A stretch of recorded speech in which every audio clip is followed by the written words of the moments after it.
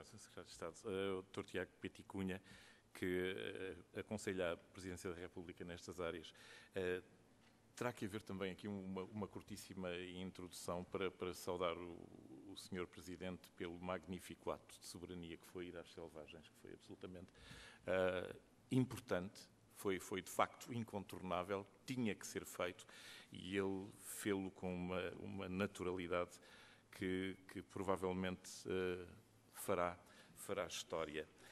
Dentro dessa área, e, e, conscientes de um aspecto que não pode haver, dada a nossa dimensão uh, atual e seguramente dimensão futura também, não pode haver uma política europeia de desenvolvimento das zonas atlânticas sem a participação de Portugal. Descreva-nos aquilo que, que o senhor vai aconselhando que seja feito. Bom, uh, muito obrigado. É uma pergunta difícil. Eu acho que diria, em primeiro lugar, temos de pensar qual é sempre o fim último de toda a nossa ação, de todo este revivalismo dos oceanos, este Ocean Revival que existe em Portugal, para compreendermos porque é que o fazemos.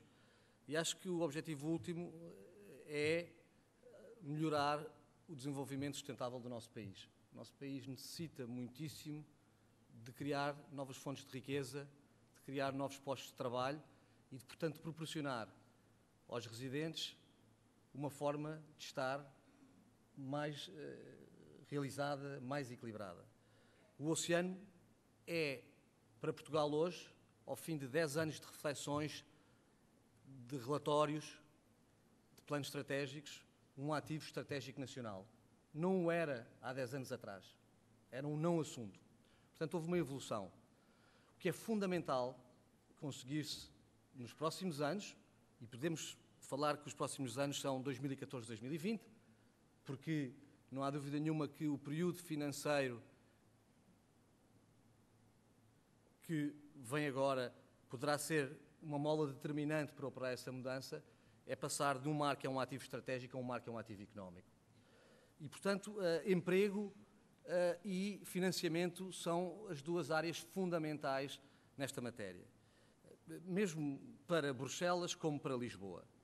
Para Bruxelas, porque fala em 7 milhões uh, de empregos a criar até 2020. Uh, e aí é fundamental compreender não apenas que há novos usos e recursos do mar que têm de ser apoiados, como a biotecnologia, bem entendido, como as energias renováveis offshore, bem entendido, como o turismo, todas elas referidas na estratégia do crescimento azul e na declaração de Limassol, mas que é fundamental também compreender que a Europa não conseguirá ter um cluster do mar forte se não tiver transportes marítimos fortes e construção naval forte.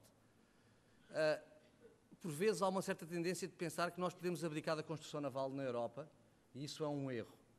Desde logo, a questão dos transportes marítimos é fundamental, principalmente os transportes marítimos de curta distância intra-europeus, porque conseguir fazer progressos nessa área, que é uma área em que os progressos têm sido lentos, afirmo e reconheço, é uma forma de permitir, eh, de alguma maneira também, servir não apenas as políticas industriais da construção naval, que beneficiaria, e note por exemplo, que a frota europeia de transporte de curta distância é uma frota que está hoje em dia obsoleta, com navios de mais de 25 anos, onde, portanto, haveria necessidade de renovar.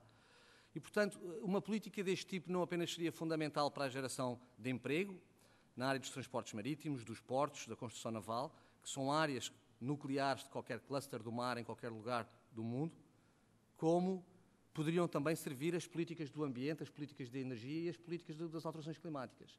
Porque são políticas que criariam uh, navios mais limpos e logo mais amigos do ambiente.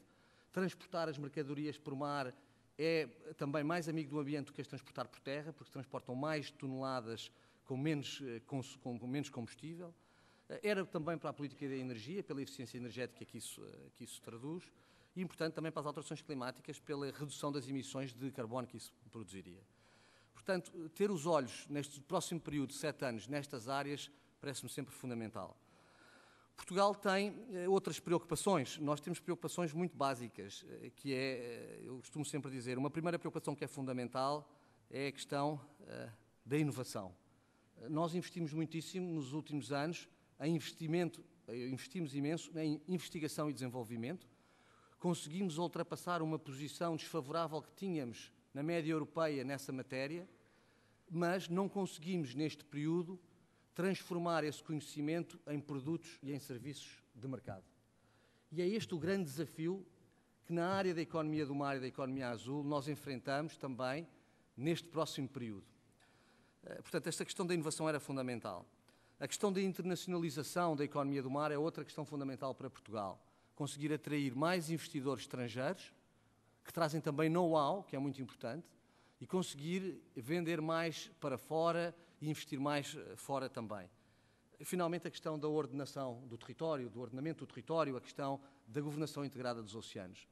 Nós temos falado há uns anos a esta parte, na Europa, nos Estados Unidos, na Austrália, que foi o primeiro país que surgiu com uma política integrada para o mar, numa governação integrada, mas os desafios dessa governação são tão formidáveis que nós ainda não conseguimos chegar a esse patamar. E, portanto, toda esta questão do ordenamento do território e de uma visão integrada do oceano seria fundamental para Portugal. Mas ainda depois queria, para não monopolizar mais o tempo, falar mais sobre a questão dos, do financiamento, portanto, dos fundos que estarão uh, ao serviço desta transformação das iremos, nossas sociedades iremos, europeias. Iremos seguramente lá, porque